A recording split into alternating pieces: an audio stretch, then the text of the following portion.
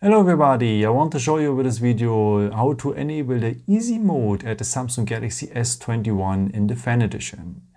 So the easy mode is a very nice uh, mode for starters uh, because it have a simple home screen layout, it have uh, bigger items and texts. So actually we have four in a row here with the apps and so on.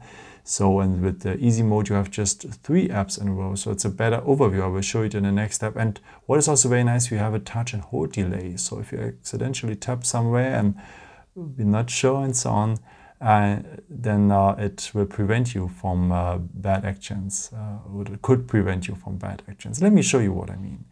Okay, uh, for that we need to enable it. So just scroll down here, go to the symbol for the settings, then scroll down a bit here to the point display.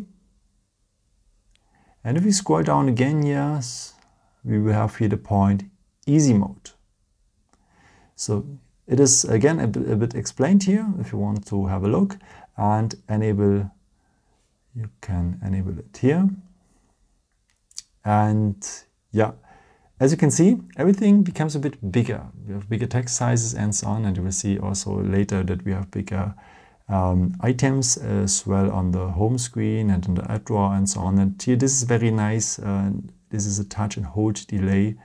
Um, so you have you need to press longer on something yeah? because uh, this prevent you from accidentally touches and so on. So very nice for starters and also for the elderlies if they never had a smartphone or something like this. And we have also here a higher contrast uh, for the display and here in that case also for the keyboard. Okay, let's switch now to the desktop to have a look. Uh, so this is how it looks like. So this is much better organized now, especially for beginners. So you just have uh, three apps here in a row, not four as before.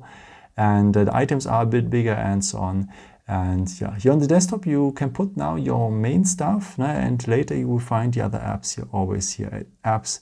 And you have all the other apps in general. Also the notifications I think is better organized and so on. The text is a bit bigger of course. The disadvantage is um, the preview is much shorter then and um, yeah, but you can concentrate here on the main things.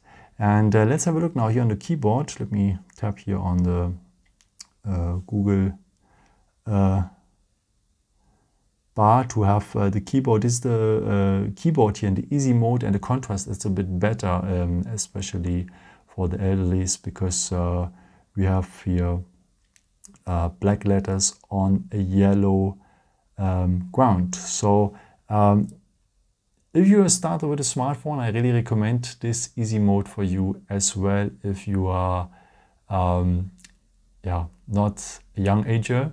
Let me describe it like this and you should really try this and you can switch always later to the regular mode if you feel fit for more. And if you feel fit for more, let me show you now how you can switch it later again.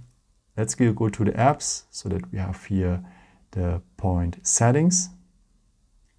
So then go again here on display. You see everything is bigger here, so it's much easier to read huh? because they increase the text size and then go here on easy mode just up there and it's disabled and you're back in the regular mode. And now you can see a bit the differences huh? so you, we have uh, much more apps here in the row and so on and everything is a bit smaller. And I have increased already the screen zoom a bit so the uh, normally the text size is a bit smaller. Uh, I just uh, increase it a bit that you can view it a bit better here in the video for the tutorial um, so that just that you can imagine um, the differences. Yeah, I hope I could help you with this. So of course, this is not all for the easy mode, uh, but um, that you have a little impression here uh, for that. And uh, yeah, if you want, if you have any questions, you can uh, ask me in the comments or um, yeah, you can leave me also some nice compliments if you want. I'm joking. Or a thumbs up, that would be really helpful for more videos. Uh, thank you so, so much because it's a big support. And as I said, if you have any questions, don't hesitate. Just uh, write it in the comments.